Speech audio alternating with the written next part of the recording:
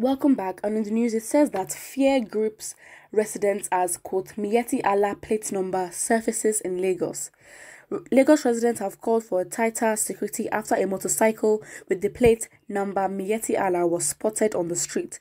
The Okada was seen at Ojo Alaba International Market Road on Tuesday at about 3:26 p.m. Miyetti Allah Cattle Breeders Association of Nigeria, sometimes called MACBAN, is a loose partisan advocacy group centered on promoting the welfare of Fulani pastoralists in Nigeria established in 1970. The main function of the association is to foster the welfare of Fulani herdsmen and develop and development of cattle breeding. An eyewitness who saw the number plate said during rush the bike stopped. Then the two men emerged from nowhere, one with military uniform and the other with a helmet and mounted the bike. The bike man whisked away towards Alaba main market and turned at Alaba Rago Junction before moving onwards Ojo Garage. Residents found the new discovery unsafe and told themselves to be security conscious, calling on the police and army to be at alert too. In recent months, there has been several accusations of the prominent Nigerians who believe that Miyetti Allah is responsible for all the harm committed by Fulani herdsmen.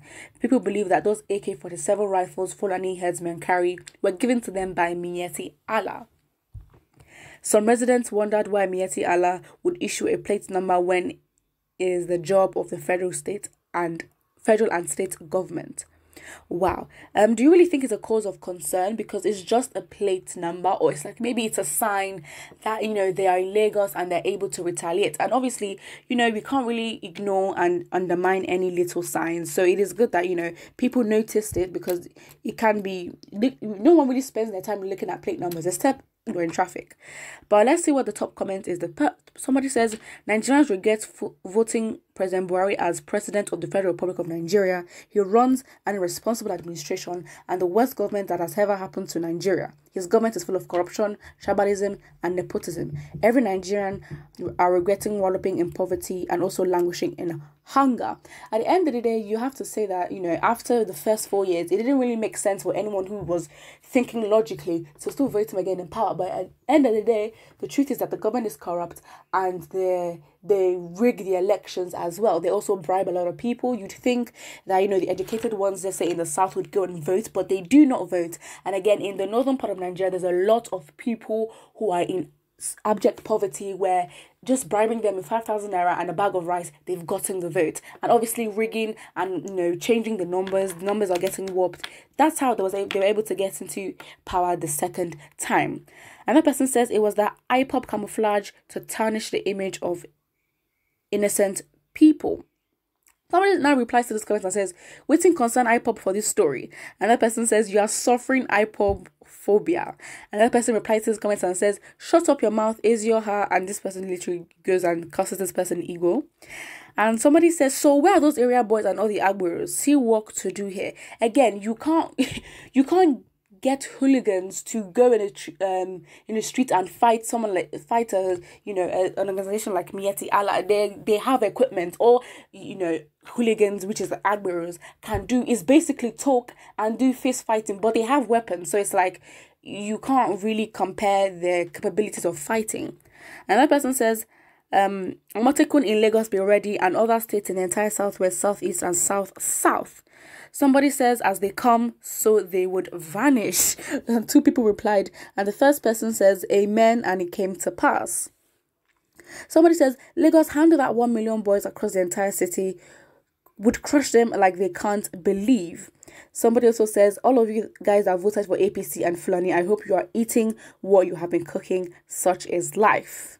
And that person says, Buhari with low life mentality, no sense. But then he's at the top stealing money and you know getting money for his own family and generation. So you know he's in a much better position even though it can't be with integrity but it is what it is. Somebody says very soon they will soon very soon they will issue national id card and driver's license. What a country. Somebody says nigeria is a 419 country. Why not arrest him? True i mean again how with no normally the plate number if you take a picture and you send it to the police it should have all your information and it should be able to trace you. But then it's Miyetti Allah I don't think you can trace that. That has that doesn't really give any vital information to who the person was. If they're taking pictures of the person that was on the bike and the plate number then that might, that might have been helpful. Somebody says Oduduwa Republic must break away from Nigeria forget about Amotekun. Somebody says the untouchables. Ours is to talk and speak grammar that will make English people of England open their dictionary. The Yorubas own the media without making good use of it, except noisy arguments, fake news, tribal sentiment, and display of cantankerousness. Wow. Somebody says federal government will never indict the real terrorists. They will rather chase shadows and harm Nigeria the more. Good luck, Nigeria. Somebody says nothing. Nigeria is nothing but a failed state. Do you guys believe that?